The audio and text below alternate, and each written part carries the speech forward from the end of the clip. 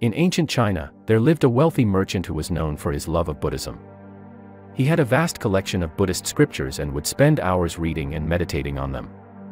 One day, a Buddhist monk came to visit the merchant. The merchant was delighted and welcomed the monk into his home. They sat down to tea, and the monk noticed the merchant's collection of Buddhist scriptures. He asked the merchant if he had read the Diamond Sutra, one of the most profound and important texts in Buddhism.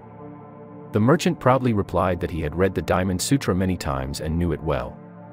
The monk smiled and said, If you have truly understood the Diamond Sutra, then you must give away all your possessions and become a beggar. The merchant was taken aback by the monk's words. He had always thought that his wealth was a sign of his good fortune and the blessings of the Buddha. But the monk's words had planted a seed of doubt in his mind. Over the next few days, the merchant couldn't stop thinking about what the monk had said. He became restless and unhappy, realizing that his wealth had brought him no real happiness or contentment. One night, he had a vivid dream in which he saw the Buddha himself.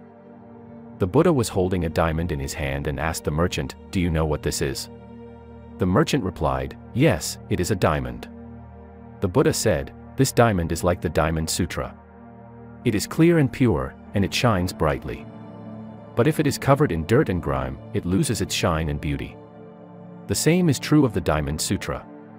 If it is only read and studied, but not put into practice, it loses its power. The merchant woke up from his dream feeling enlightened. He realized that his attachment to his wealth and possessions had clouded his understanding of the Diamond Sutra.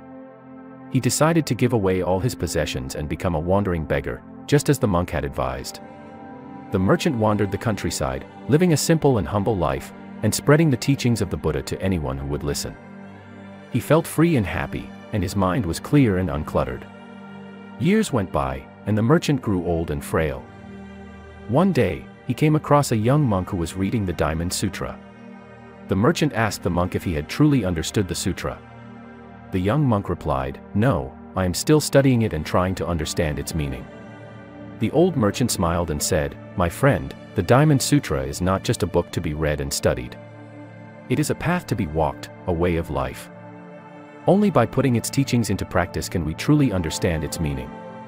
With those words, the old merchant closed his eyes and passed away, knowing that he had truly understood the Diamond Sutra and lived its teachings to the fullest. The lesson learned from this story is that knowledge and wisdom are not just gained by reading and studying, but by putting that knowledge into practice. The Diamond Sutra is not just a book to be read, but a path to be walked.